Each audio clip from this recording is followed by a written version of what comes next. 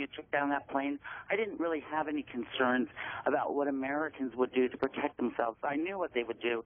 They would take over the plane and deal with uh, the hijackers adequately. The plane went down; those people lost their lives. I don't think the government is helping us by taking us into a war in Iraq because uh, a man uh, named Bin Laden had a group of people and access to tons of money and he could blow up these World Trade Centers. I don't believe um, that going in Iraq, I don't know what the death toll was of Iraqis. You know what, Mary, what- we're, what is- we're, we're getting a little, little off topic here, but I think there's plenty there for Representative Forbes to respond to. Yeah, Mary, um, you, did have kind of a plethora of, of issues thrown out there, and we could argue about whether the Iraq War was the right approach, whether the Afghanistan War was the right approach, uh, whether the president's taking the right approach now in Afghanistan. All those are fair discussions, fair debates. Uh, we can argue whether the president's had the right approach in terms of the surveillance that he's done and the programs that's taken place. But the one thing that I, I don't think we can um, argue legitimately about is whether or not there are enormous threats out there to the American people. There are people that want to do us harm.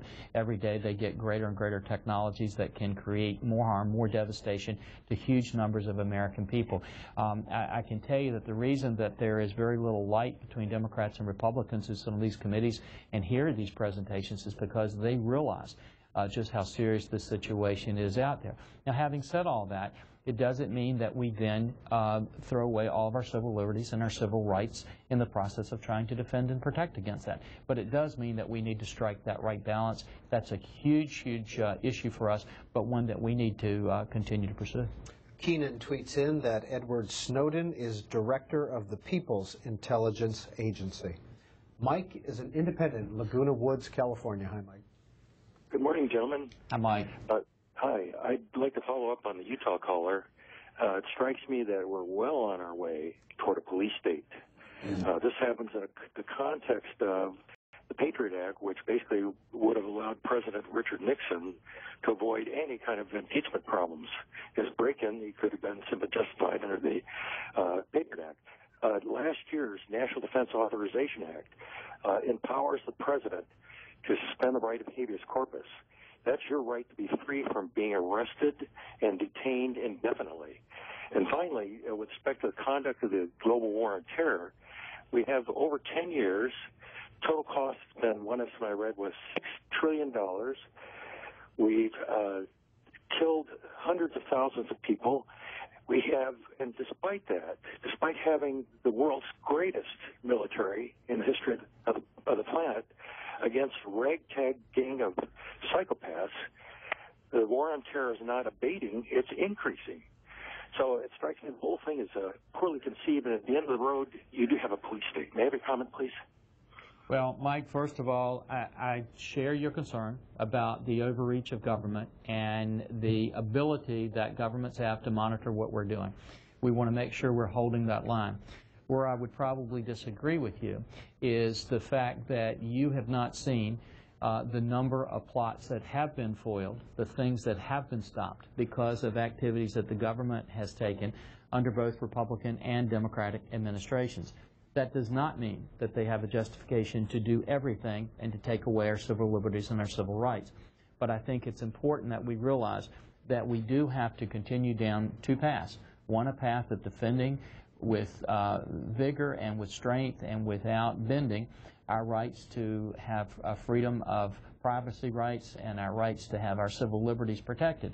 But at the same time, we have a huge commitment to continue to defend against um, actors that would do enormous harm in this country if they are unattended and we do not focus energy and effort in trying to stop them. That balance is not an easy balance, but it's a balance that elected officials have to try to strike. And I think on that balance, you're going to see Republicans and Democrats working together to make that happen. Congressman Forbes, as a Armed Services Subcommittee Chair, member of the Judiciary Committee, member of the Armed Services Committee, can you go to somewhere in the Capitol and look at intelligence In- in- information? in many instances, not every piece of in- information that's out there. And Peter, you got to understand that on some of these programs, um, you don't even know the programs are existing. You know that, so that's one of the difficulties. And different committees have different things that they um, uh, have disclosed to them. So individuals on the Intelligence Committee would have one grouping of things that are disclosed to them. That's where most of these programs would have been. Uh, where we would be seeing things would be more uh, what would happen strategically from a military uh, context and how we'd be defending against state actors who might, might be trying to uh, uh, infiltrate or harm the United States. As a member of Congress, do you know what the NSA's budget is? Um, I, I do know a large part of that budget, but it would be fair to say that I do not know all of that budget. Are Speaker Boehner and Nancy Pelosi privy to all of the information that the intelligence committees are getting? It is my understanding they are. Do you think all 535 members of Congress should have the same access? I do not. Why? Um, I think that there are some situations in some committees and some of these classifications are so high and so stringent that I think they should be limited to certain leadership positions and certain uh, uh, various committees that have been properly vetted so that they could do that. Now, understand, both of these parties, though this is a bipartisan thing, so both the parties have um, representation in that. I think that's important that we do. But I don't th think necessarily that 535 members of Congress should all have access to the same same information. And we have about 10 minutes left with our guest representative, Randy Forbes. If you've noticed, it's gotten a little dark out out behind him and behind us here. A little uh, dark. Derecho has Yeah, arrived in Washington, so it should be quite a show. Josh is in Indianapolis on our Republican line. Thanks for holding, Josh. Please go ahead. Thanks. Good morning, Congressman. Hey, Josh. I have a question for you about the information gathering that was leaked by Mr. Snowden. Um, do you think that it may be an inevitability that this kind of information will be gathered on all of us uh, now that we're in the information age, especially as it progresses, and that it's a good preemptive step for the United States government to uh, be a big part of the information gathering and that maybe the feelings of outrage that people are having are based on the notion of privacy from a bygone era, and we just need to accept the new time in which we live. Thank you.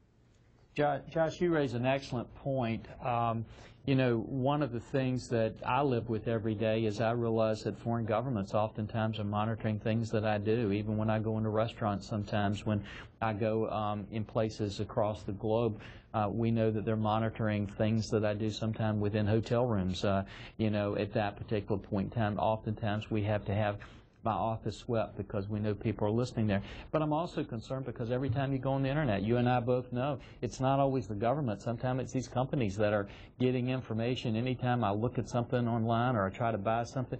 And, and that concerns me because I came from an era where they couldn't do that. And I think I have a right to be concerned about that. I do think, though, that just because technology's changed and because all this is happening, we don't give license to the government to have that kind of broad swath to be able to collect all that information and data on us. And I, that's where we've got to draw the line and try to strike that balance. And that's what I really do believe that members of Congress are going to try to do over the coming months is to make sure that we're holding that line and trying to protect the degree of privacy that we can for the American people.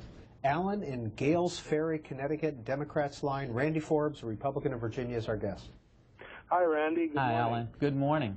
I'm concerned about the same things everybody else is here with respect to uh, having a look at the law uh, and its comparison or justification with the Constitution or alignment with the Constitution. It does seem that we have rather turned the corner and come very, very close to becoming becoming a police state, particularly when our legislators are not able to discuss with us what is going on down there. And some say they did know about it and do know about it, and some say they don't.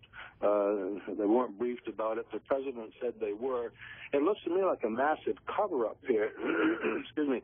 And I think we should really know what's going on and have no private sessions in these discussions. Um, I can understand military activities being very private, but our private information, the way this has gone now, it makes my fighting for for the rights of uh, of people in other countries to have rights similar to our Constitution. Uh, it makes a mockery of it. I'm, I'm a little disappointed at what I did. Uh, All right, Alan, let's get a response from Congressman Well, Alan, Forbes. first of all, thank you for even talking about the Constitution. It's something that unfortunately we don't see as many people talking about today as I think we should be, and that's something that I think is important. I keep a copy of that right on my desk to make sure we're constantly looking at it and making sure that we're, we're staying